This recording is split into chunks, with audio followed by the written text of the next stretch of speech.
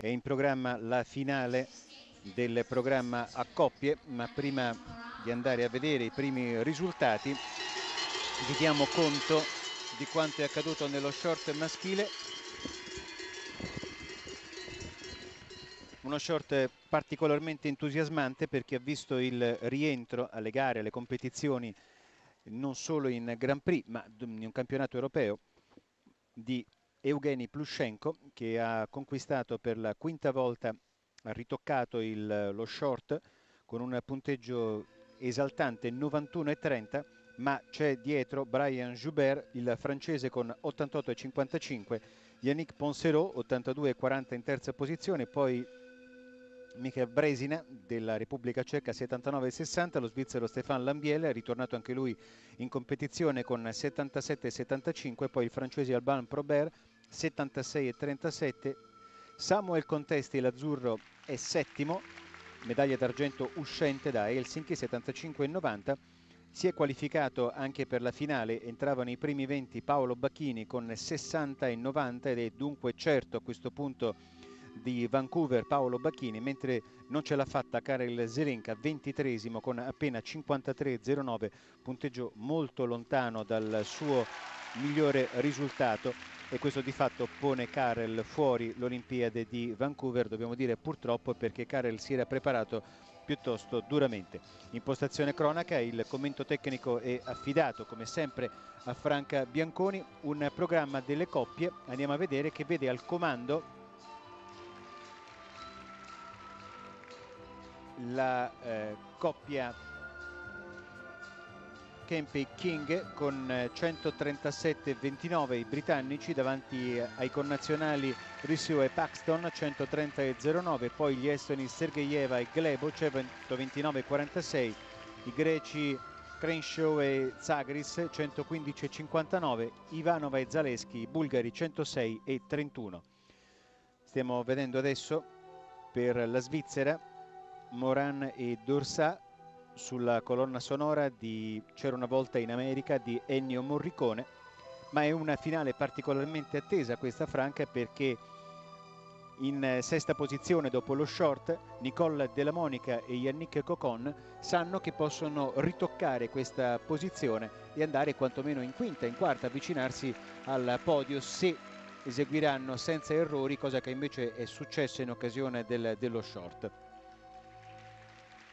Sì, tutto è possibile, questo è un libero, abbiamo detto i distacchi sono molto brevi e quindi dipenderà tutto da, da, come pattinano loro, da come pattinano i loro avversari. Intanto stiamo assistendo a una bellissima prova, molto bene anche il triplo Lutz lanciato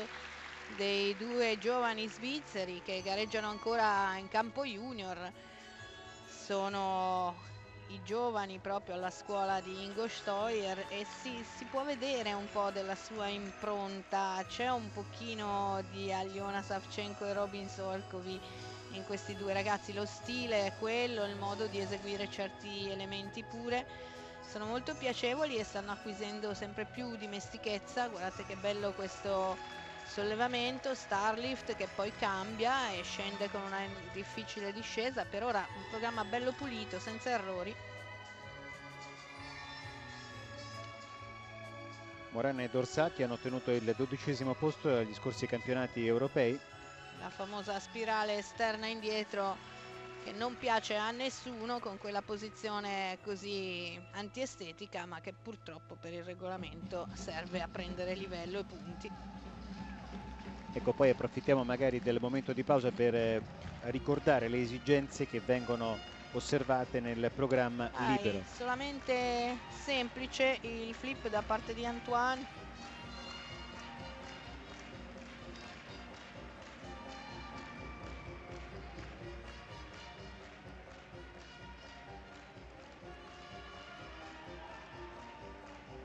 Vanno fuori sincronia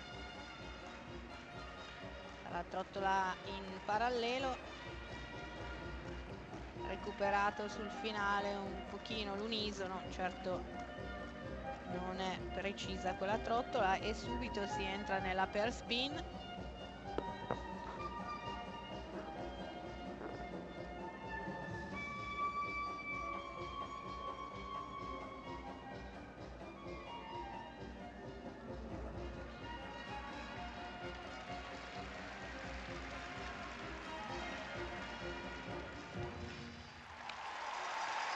René Moran e Antoine Dorsat Beh, io direi un'ottima prova da loro, unico neo quel, quel, flip semplice da parte di Antoine sul finale, ma per la giovane età di questi due ragazzi, per il poco tempo tutto sommato che, che gareggiano insieme. Dal 2006. Quattro stagioni però partendo proprio da, da livello zero, direi che hanno compiuto tanti tanti bei passi avanti e... Mh, mm, saranno di quelli che eh, terminato il ciclo olimpico perché come sempre dopo il ciclo olimpico ci saranno dei ritiri saranno tra quelli che potranno ambire secondo me a, un, a una medaglia a un podio europeo tranquillamente. Se continuano la... con questa velocità di progresso sono davvero in evoluzione. La Morana ha quasi 17 anni, eh, Dorsani ha quasi 21, per cui sono davvero giovanissimi in una specialità che vede anche campioni eh, maturi. Loro sono entrambi tedeschi in realtà perché sono nati a Chemnitz e hanno ottenuto la cittadinanza nel 2008 e tra l'altro ricordiamo che il loro allenatore Stoyer è stato nel 1997 campione del mondo in coppia con Mandy eh, Wetzel. Allora, ricordiamo anche le esigenze che vuole il libero delle coppie, tre sollevamenti di gruppi diversi, due salti in parallelo, di cui uno in combinazione o in sequenza, una sequenza di spirali, una spirale, eh, non obbligatoriamente come nello, nello short, ecco in Gostoyer, un twist, due lanciati di, diversi, di diversa natura tra, tra, di loro e poi eh, due trottoli, una in parallelo e eh, in combinata. Vedremo tra l'altro gli azzurri nel penultimo gruppo, mentre ricordo che il coordinamento giornalistico di Roma è curato da Annalisa Bartoli e adesso prima del warm-up ci sono ancora due coppie, i tedeschi Ausch e Wende e poi i polacchi Sulej e Kruczynski. Ecco Ingo Stoyer alla destra dello schermo, Ariana Deleser e Heinz Wirze invece sono stati i primi tecnici di questa coppia che ha preso, come abbiamo detto, la cittadinanza svizzera. Allora andiamo a vedere